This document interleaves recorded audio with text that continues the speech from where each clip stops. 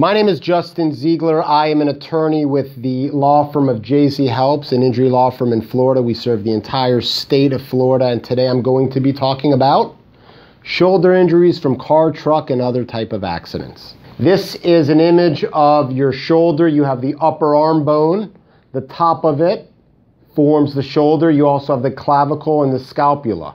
Those three bones make up the shoulder. And yes, the upper humerus is part of the shoulder, although some people will disagree. Now, the shoulder consists of many tendons, joints, and muscles, which means even without an accident, you may have shoulder problems. And that's one of the things in the cases that I'm going to talk about are negligence cases where someone else's carelessness, also known as negligence, caused your injury. That's what this talk mainly applies to.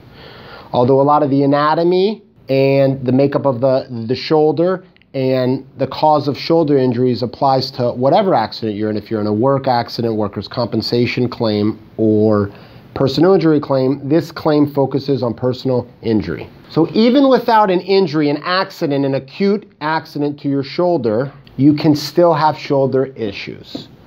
So when a new client calls me or someone's injured in an accident and they say, I have this shoulder pain, one of the first things I ask is, Did you have shoulder pain before the accident? And the good news is in Florida, you're entitled to get what's called an aggravation of pre existing injury. So if you have shoulder pain before and it's worsened through the accident, you're entitled to get compensated for it if someone's negligence was the cause of the aggravated shoulder pain, your worsened shoulder pain. Expect the insurance company, if you have shoulder pain or an injury or even a tear, to argue for the most part, in most cases, there's exceptions to everything, but in most cases, that your shoulder pain existed before the incident. There's many causes of shoulder pain. Uh, the majority of shoulder problems are caused by a fracture, which is a broken bone. Shoulder pain can also be caused by arthritis, by shoulder instability or by tendon inflammation, which is known as tendonitis or bursitis or tear of the tendon. I'm going to talk about all four of those right now. Now, bursitis happens when you use too much of the shoulder and there's inflammation and swelling of the bursa, which are between the rotator cuff and the area of the shoulder blade that shoulder blade that is called the acromion. This is the human body. This is where the acromion is on the body. Here's a close up of the acromion. You can see, it's on the tip, and the head, the person's head would be here.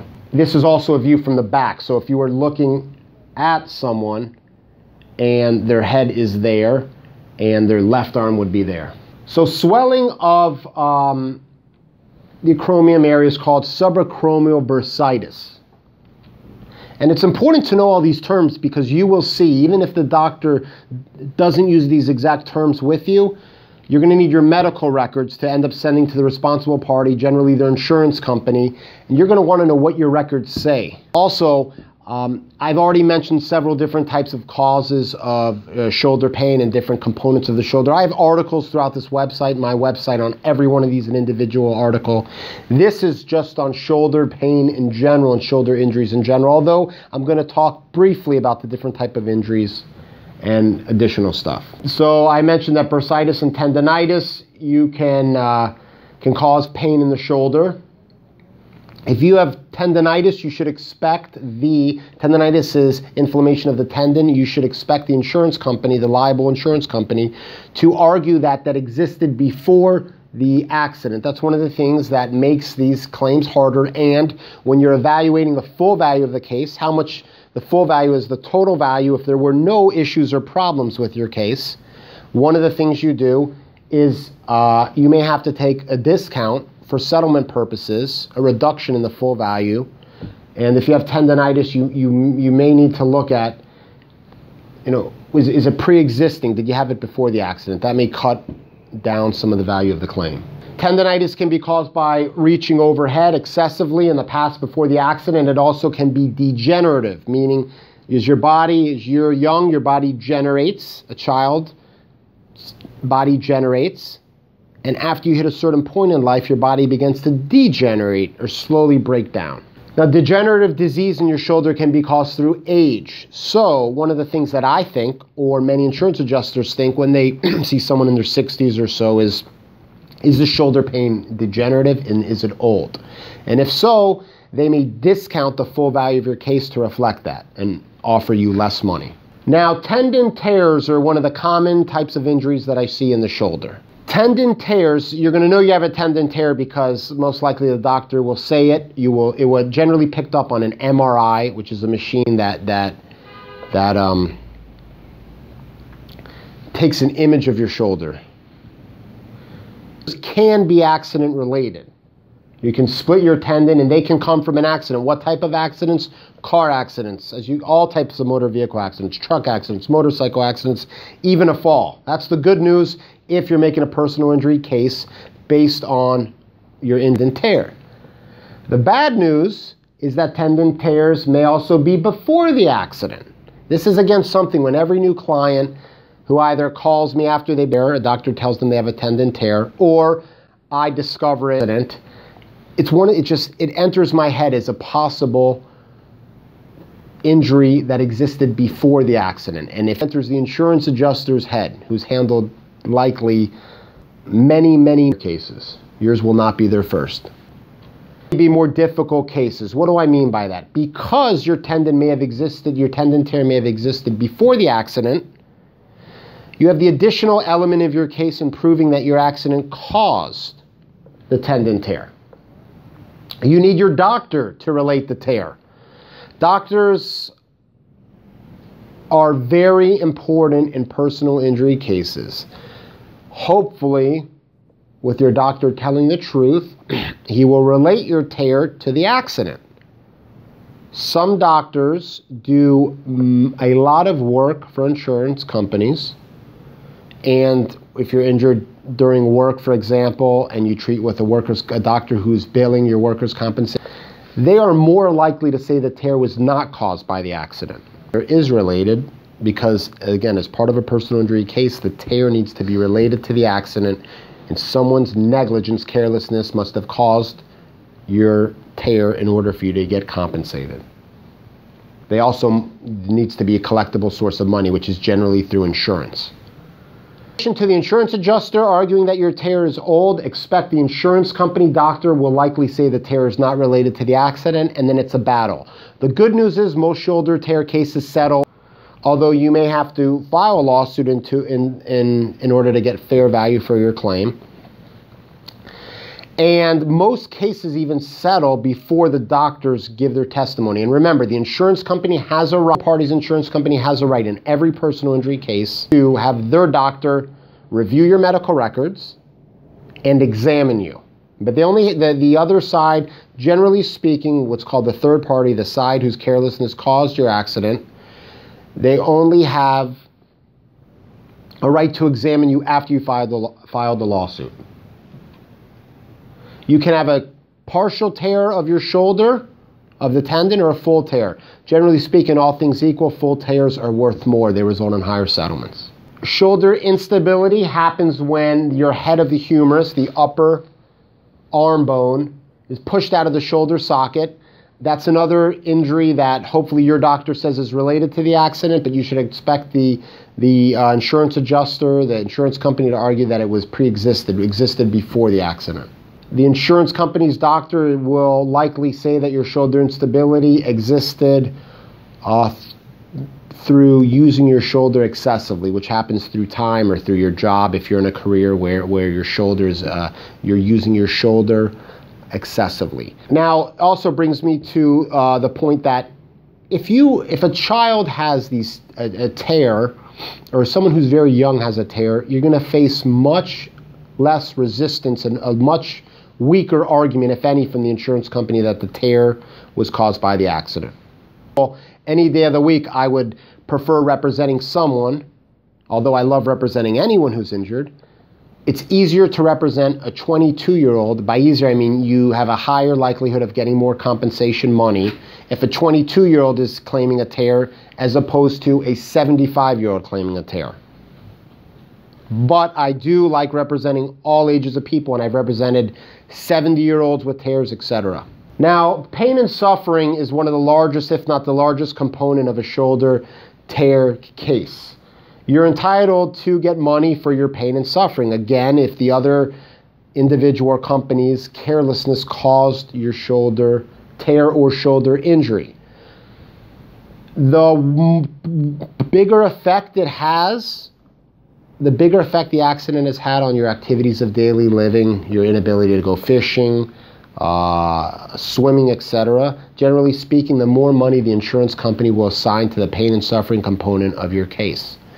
The less effect it's had on your life, the less the insurance adjuster is going to assign to the pain and suffering component of your case. If you have one medical visit at a hospital or doctor, they expect the pain and suffering uh, award to be very small.